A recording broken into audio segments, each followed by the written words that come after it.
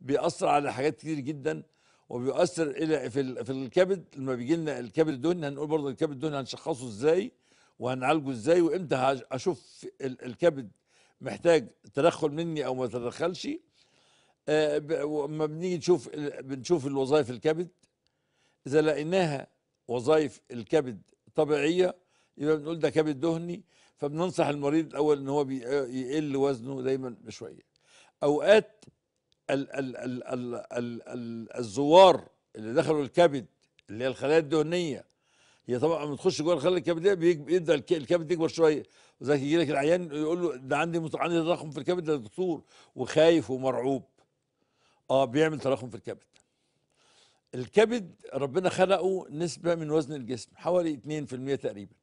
يعني الكبد الإنسان اللي عنده شخص وزنه 60 كيلو تقريبا هيبقى وزن الكبد بتاعه حوالي كيلو وربع. طب اللي وزنه 100 كيلو؟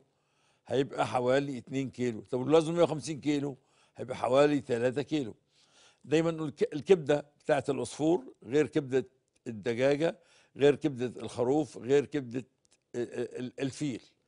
الك- الكبد ربنا خلقه نسبة متوازنة عادلة من وزن الجسم لأن الكبد ده هو كبد واحد في الجسم.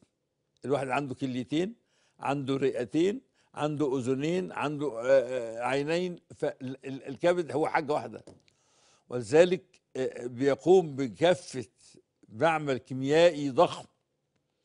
لو قعدنا نشوف الحاجات اللي بيعملها الكبد بنجد ولا معامل الدنيا دي بتكفيها لأنه بيقوم بوظائف كثيرة جدا مختلفة.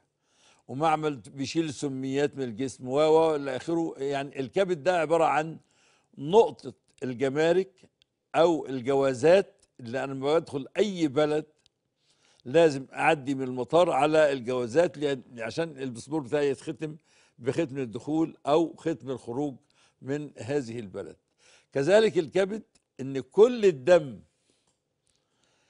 اللي جاي من الأمعاء حاملا معه الأطعمة المختلفة بعد هضمها لازم يعدي على الكبد عشان نبدا ياخد ختم الدخول ويعدي من الكبد إلى الدو... إلى القلب ويخش الدورة الدموية العامة. وذلك بيبقى في دورة دموية دي اسمها الدورة الدموية البابية.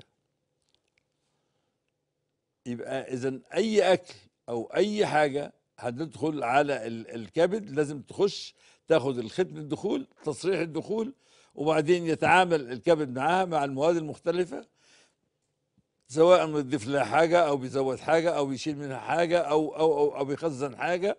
ويبدأ يوزعها على الجسم عشان كل عنصر من العناصر الغذائية يبدأ يؤدي وظيفته اللي هو ربنا خلقه ليها.